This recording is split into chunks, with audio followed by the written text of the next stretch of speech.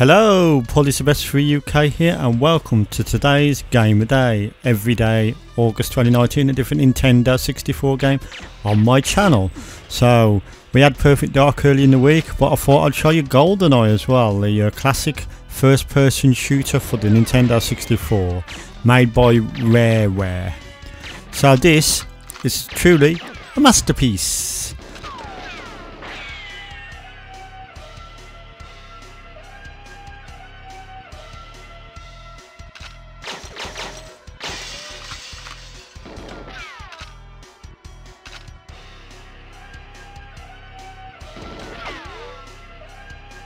But yeah, this is the very first first person shooter game I ever played on a Nintendo 64. Now there's loads of varied locations. Here we've got a frigate in the middle of the sea.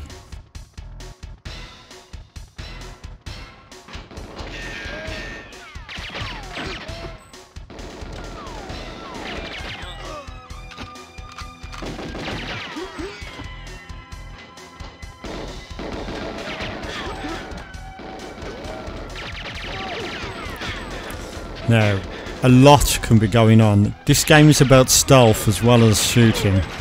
Don't go all guns blazing like I am here or you're going to be surrounded by enemies pretty quick. You've also got this watch that you can use to get special things like this watch magnet attract for example can get you that gun off the table. Watch out for these guys right here. Have some of that. Graphics are amazing. All the enemies are polygon rendered. There's no sprite enemies on this.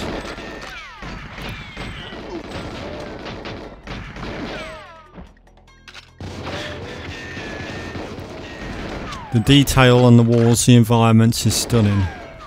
it's just such a masterpiece. Rare certainly knew how to make games on this console. Sometimes the, the frame rate will slow down when there's a lot going on all these enemies have got their own artificial intelligence levels and if the computer is trying to do that all at once with loads of them it can make the system slow down. But it's not too noticeable to be honest. You can also have two guns as I've got here one in each hand. This game also supports four player multiplayer four player split screen which is very fun. The uh, multiplayer levels are cut down versions of the single player. Really good fun some vehicles to drive on the game, like a tank.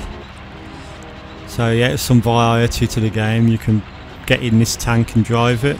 You can also use its its uh, what you call it, its turret to uh, shoot shells, and you can also use your gun as well.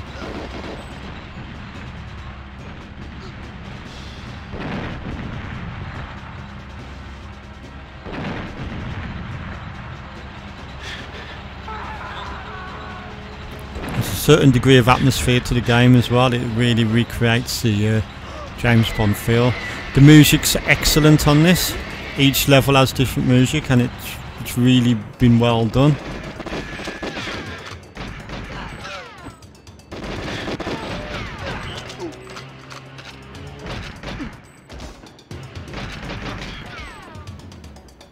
Have some of that. Watch out because some of these barrels and boxes are explosive. The explosive hurts you so you've got to be careful. Have some of that. Now the enemies have got like digitised photographs stuck onto the top which makes the faces look funny sometimes. Have some of that. Have some of that. A lot of uh, people with guns on this train.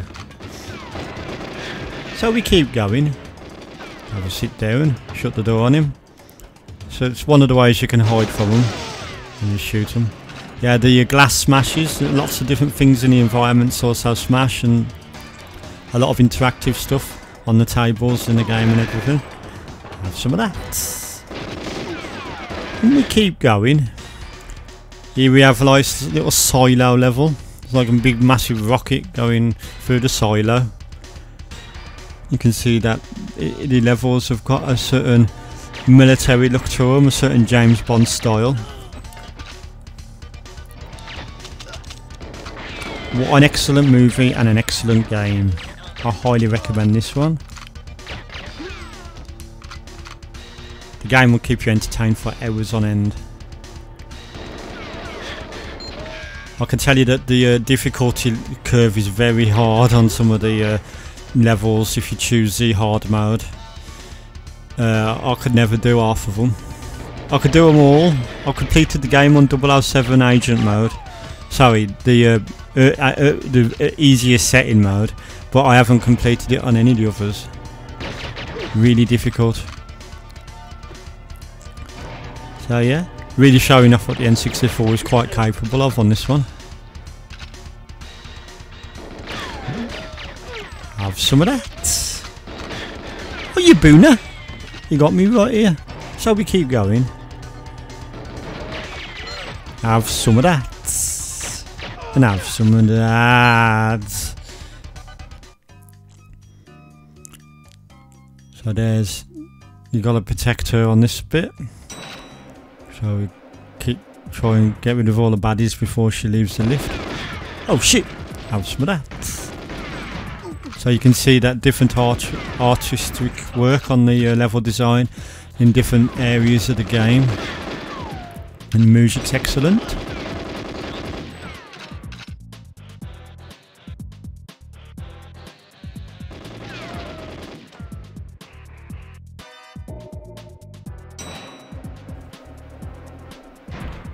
She won't come out until you've uh, destroyed all the baddies. I don't believe anyway.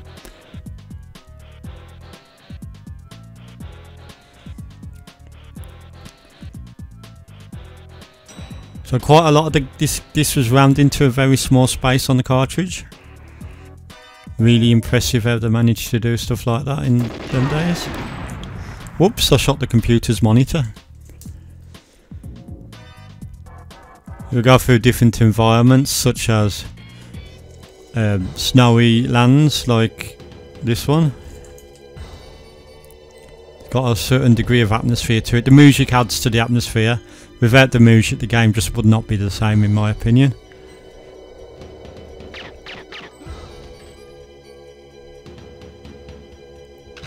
It's like Egyptian Egyptian places like this as well can see the stunning artwork. Caverns like this one.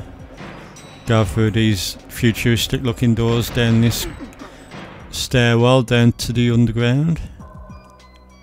Absolutely a lot of attention has been put into getting this game just right. You can tell that the programmers had a lot of love for the job and what they was doing. Some levels this one level you'd start in a ventilation shaft just like on the movie and sneak up on this guy on the toilet.